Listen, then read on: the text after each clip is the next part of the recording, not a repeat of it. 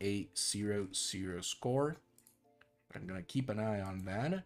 While we go into another Infernal versus Vanguard match, and we have on the bottom side here on the left, our good boy Winckel, German player. He's been tearing it up as a Infernal player as well. And Areff has been one of the few, but a very powerful Vanguard players. So one of the things to know is that Areff was actually a very good consistent player on previous TANCs. He even made the top 8 a couple of times, I think. He is on the standings table as far as I know. So it's going to be interesting to see what he decides to do here for Secluded Grove. It should be a very fun match. Getting his scout now to harass the Therium Worker. This is obviously because usually the play is to go Conclave first, and to get Gaunts out on the map, you need 15 Therium.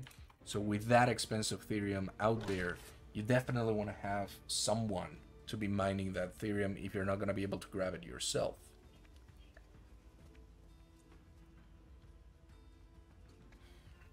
Going now, quite a bit of micro here on the side of Areff. He's just going around in circles and he's gonna try to deny the shrine for as long as possible, but the expansion will go up. And we can see, I think I know what Areff is going for. I don't know about you guys, but I, I see the writing on the wall. This is a vol a oh my god, what's the name of the of the thing? I, I used to remember it. Verilium Claws, I believe. Verilium Claws or something along those lines. Yeah, Verilium Claws. Extra 16 damage to light units. And light units, let me tell you, they are everywhere. So this is a very scary thing to come up against. So you don't want to do it very often. You have this engagements and the Atom Vault. And of course, massing. Look at this amount of dogs. And the dogs deal a lot of damage. They deal 8 damage normally. And then when you look at something like the Gaunt, which has a light uh, tag, it doesn't show it here, but it has a light tag. That essentially means that you're doing a grand total of 24 damage per. You can see two hitting with four dogs, all of these Gaunts. That's incredible. And sure, your dogs get infested, but that is a small price to pay to be able to kill them this quickly. Look at the Gaunt here, having to move away. The bouncing axe is gonna do a lot of the heavy lifting here to try and get a kill, because it's gonna bounce against two other targets, I believe. Uh, attacks are infected, bounces twice. Yeah, so you get your first hit, and then it bounces to two other targets. So if your opponent has three units, for instance, you can hit one of the units, and you're actually hitting all of the units and that is very powerful as well because of the infest mechanic. Infest is going to hit these units, and the only the not only does it create a fiend when the unit die. That is the main thing that everybody knows about Infest. But the secondary effect, and I will think after learning about it, it is one of the most powerful ones, is that Infest causes damage over time. It deals 1% of the max health damage of the unit per second for 10 seconds. That is the full duration of the infest. And that is one of the things that really messes up with a lot of, particularly Vanguard players, that are trying to go for harassment with something like Hornets or with something like Scouts. Because the Scout has a good amount of health. It has 120 health. So that feels like a good amount of health until you realize that you're losing a little bit over 1% of that health whenever you're going into an engagement against Gaunts. And that is guaranteed damage that you're going to take. Thank you, Sap, for the follow as well. I just saw it popped up. And although veterancy can help you quite a bit to sustain yourself, it is definitely time for a repair-o-matic if you're a Vanguard player. Look how powerful this stuff is. You can repair your scouts very, very quickly. In fact, all mechanical units, you can repair them. And this is gonna give our player Here the time that he needs to get into this expansion. Now he's gonna lose vision over this camp, but it's but he's okay with it because he's gonna go out with all of these dogs and he knows because of the speed camp on the map you can see that there is no speed camp tag here on the minimap that means that that camp has been taken and he actually knows that the health camp has been taken as well. And now he's gonna get the gaunts. He gets one kill two kills three kills on the gaunts. That's a lot of kills that are not gonna be creating infest now. And he can absolutely kite and get the kill on the fiends as they show up. But it is a tough fight, especially if your opponent is really good at macroing. And Will and Winckel is pretty good at macroing. Now going for a third on the side of Winckel, and he is doing an absolute great job at protecting his own expansion on this side, and the dogs are not able to do anything about it. Seeing that, going for a third makes a lot of sense. Not a lot of ramp yet happening for neither player as trying to expand and control the area, going for the speed camp for the extra 125 resources that it gives if you kill those units. As well as deny the infest on the side of um, your opponent. So you're gonna see for each kill is 25 Luminite. So get all the kills all together and you get 125. You're actually leaving one alive. No, you don't get the full 125. But that's okay, it's a bit more experience as well. These scouts are dealing so much damage. You can see that it is for the elite scouts, they do 10% extra weapon damage, and we just talked about the fact that they are dealing 24 damage per hit. So you can add you can add 20% up on that one. And I'm not good with maths, and I'm not gonna do the math live because that is exactly how you end up on uh, failing everything. So I'm not gonna try that. This structure, the meat farms as well. This is another quick thing to note. Meat farms, just like habitats, are considered light structures. And for the purposes of the Beryllium Claws, they get the extra damage as well. They get hit with it, plus 16 extra damage. And the Fallhawks are another light unit that also suffers from this. So you can see now the kiting with the scouts and just trying to avoid giving the infest while also keeping them alive for that extra experience as vanguards do get. Another thing worth noting about experience is that the unit that gets the kill gets the most experience, but it is also shared among the other units that were around when the kill happened. And once your units start getting into the max veterancy status, which is that uh, champion status, they no longer get experience, but they actually move the experience. They share the experience that they would have gotten with all of the other uh, units around them. So it is a critical thing to get at that point.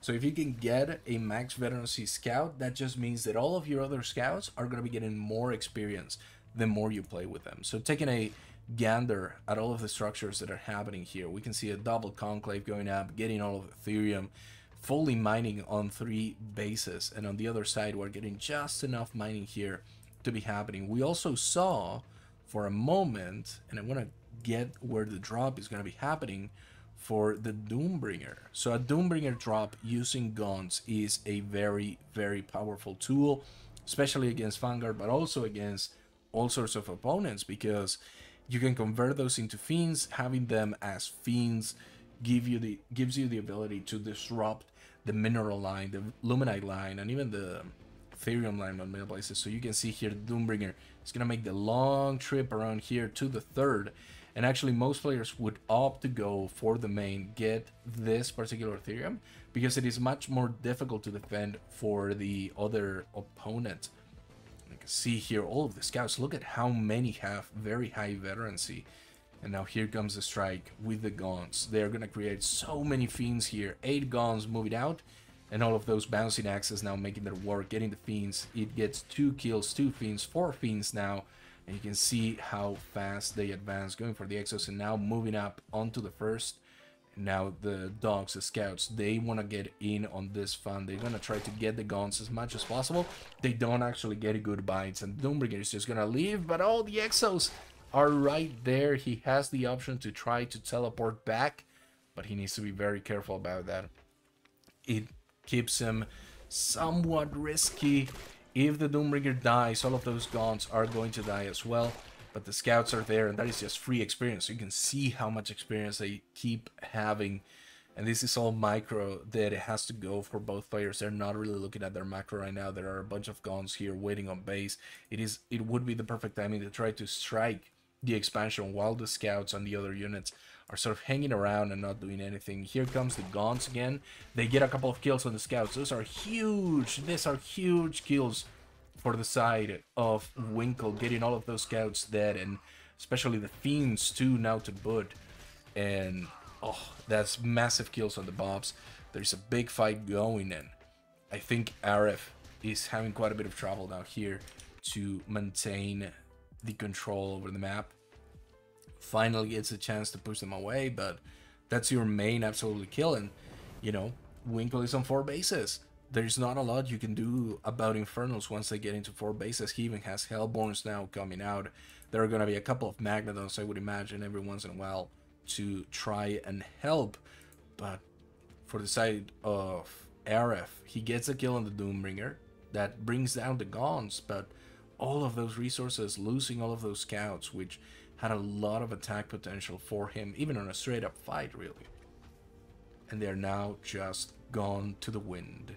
He's gonna try to push on this fourth, but particularly because of the narrowness of this location, it makes it much easier for the Hellborns to do their job. You can see them charging up and shooting, and look at the amount of damage that they can get out of there. And there are no medtechs in this bowl right now. That is scary for Areff. Not having any medtechs to heal up your units, you're gonna need to push back greatly, and he's feeling compressed at this moment. There is not a lot that he can do. He can just mine a little bit of Therium, try to stay on three bases. But other than that, he has to take a fourth eventually, and you can see that Winckel has that as scouted. So fourth is not to go down, or at least not unnoticed. There it is. And now Winckel can decide, okay, so if he wants to take a fourth, I can move my units and I can potentially aggress against them and even going for the middle. Just Winckel is fully moving into this position of having complete control over the map.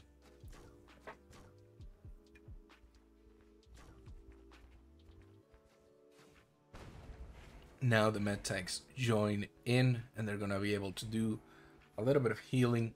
Remember that the medtech heal is a little bit different than just a straight up heal. It heals for a little bit to start, but then it also le uh, leaves a tiny bit of a linger effect on those units that heal them up over time. Uh, you also need to be careful to not A-click on a particular unit or building while you have your medtech selected because the medtechs will try to attack the unit instead of stopping and trying to heal the units around it. So you don't want to necessarily A move straight into a particular building. You want to play it a little bit safer than that and keep everybody good. Good use of the sentry post here to make massive heals on his side. When the units are outside of the combat, outside of combat, and they are near a med station, they heal by 8 uh, health points per second. That is quite a bit more health than just standing around and trying to heal everybody through that away. A lot of Shroudstones here to protect the fourth base, and the army of Winckel also has to get its momentum going onto this side. A bunch of imps are gonna die, but I don't know if Winckel is gonna have too many problems with that. Infest does go down, the ritual, to try and get the kill uh, here, but Infest is not gonna be enough to clear this area, and the army of Winckel is getting a little bit more unwieldy with so many Hellborns. He doesn't have all of the things that he needs, but a full mass of guns and a Magmadon to trample all of them. It's gonna make short work of this fourth expansion, and again, this is a fourth that uh, Areff really, really needs. He's been pushed off a lot over on this game with the gun drops, with everything else, and he's gonna start to lose the economic battle if he's not careful. He has a good mass of units, a good mass of medtechs as well, and it's gonna take a decisive victory. Right now, the army of Winckel is split, so he could potentially look to strike and get that advantage now. But going against the Gaunts is a very scary prospect, even when you have Exos. These Exos are not a veteran, they are straight out of the training facility. They're not going to be able to do a lot of damage that way. And, you know, the, the base on the side of Winckel, of Areff, is now transitioning over into Hornets, but there are a couple of units that are idle, a couple of Bobs that are idle. It's to take a big fight to advance here. And we see some of that by getting the meat farms on the side of the speed and trying to get the fifth base on the side of Winckel, who is just economically pushing forward here. Couple of imps tried to go for the explosion. They get the Lancers. The Lancers are down now. It is just a ball of Exos. and they have to stay alive here. They need to move outside of the Shroud Zone. The Shroud Zone is doing great work. The Shroud Manifestation, which, get, which gives 100% attack speed, is doing work here against the Exos. It gets the kill on that Manifestation, but not before it deals a lot of damage. And now the Weavers are here, and the Weavers can deal a ton of damage. Infest is going to hit all of the units, and although they have veterancy, if they die within the next 10 seconds, they're going to produce a Fiend, and it can escalate very, very badly. He gets a speed camp on the last second and will push out. And the fifth for the side of Winckel is going to stay up. And just look at this big, massive army for the side of Winckel. A bunch of Hellborns. All of these guys, if they fire on a massive Exos, that's bye-bye Exos, no matter the veterancy. And you also have the Gaunts here to provide a little bit more assistance. They are going to be getting the Infest out. And again, bouncing three times. You don't need one gun per exo, you just need a third of the amount to make sure that you're hitting all of these exos with infest and once they die they become fiends and the fiends themselves will do the job that you want them. You can see a mass exodus of bobs now to try and grab this area. There are hornets that are maybe gonna try to harass the side of Winckel who tried to take the middle of the base but cancel at the right time. He's not gonna be paying the full cost of it, but here comes the Gaunts and the Hellborns. The speed boost now on the side of the Gaunts are going to be able to catch up and kill the Exos if they try. Good control over the center of the map. It seems like Winckel is happy to just let the fights go. He doesn't want to engage right now. He's just happy letting Areff kind of die himself down and grind himself down and not have an exit here. Grabbing the vision camp now, he's gonna see that there is a Hellborn and potentially more units and now a Flayed Dragon going up into the sky. Gets the Infest out on a couple of the units. And Hornets are not necessarily the answer here. The Flayed Dragon has a lot of health. Although those Hornets could be very powerful, the main problem is that the Gaunts, the massive Gaunts, that Winckel has is good enough to kill the Hornets before you can do much of anything.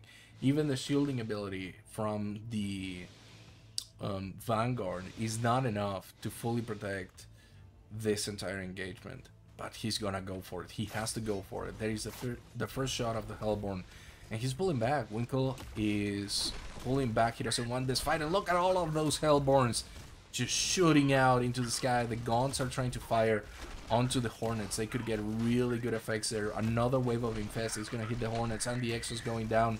The Gaunts are getting in each other's way to get effective fire. And the Exos are trying to stay alive as much as possible, but the Hellborn shots, they are incredible. Infest is dealing so much damage as well. And the Fiends, as soon as they die, they turn into Fiends, and that is more than enough to continue the aggression. This is to be the push for Winckel to get into this last little edge. No, he's to pull back. He's gonna deny vision. And now on the side of Areff, he's feeling the pressure at this point. The med stations will go down. The map just Winckel slowly creeping in. Never going for a full engagement that would be decisive either way. Just choosing to slowly get rid of the units and push forward one by one but now the Hornets, they're going to be going on to the fifth expansion on the side of Winckel. It's going to be interesting to see if Winckel is going to take the base rush that this could effectively be.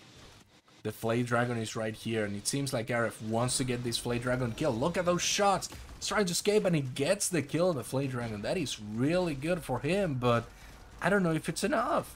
A Flay Dragon kill might be cool and all, but look at the army for Winckel compared to the little tiny army from our boy Areff. I don't know if that is enough to maintain this position. And you can see the Shadow Flyers now coming in. Those are going to make sure work of the Hornets whenever a fight happens. And now, oh, this is going to be a killing blow for him. Losing his fifth expansion would be absolutely disastrous. He doesn't have anything on his main, on his expansion, or on the third. Like the third is gonna go down any minute now. He has to protect the fifth. But look at this. This is a bunch of Hellborns. They are weak though, and getting it from behind could be the decisive factor here to make the fight last a little bit longer against the Hellborns. But look at all of this. The Lancers get their upgrades. They are pushing forward with the kinetic re redirection. They're gonna try to fight it. The guns are not getting really good attacks, but now a full map Shroud is gonna be more than enough to continue healing units just a tiny bit. The Shadow Flyers get the kill on the Hornets, and this is probably gonna be GG called by Areff. And Winckel is gonna be taking his match for round number four, and the players are gonna be talking in the lobby, wanting to find out what would happen. Not sure. Too little HP, uh, XP. But yeah, just talking about what happened during the match. This is actually pretty interesting insight. I'm not living because I want to find out what they're talking about at the moment. cool, and GG gets called.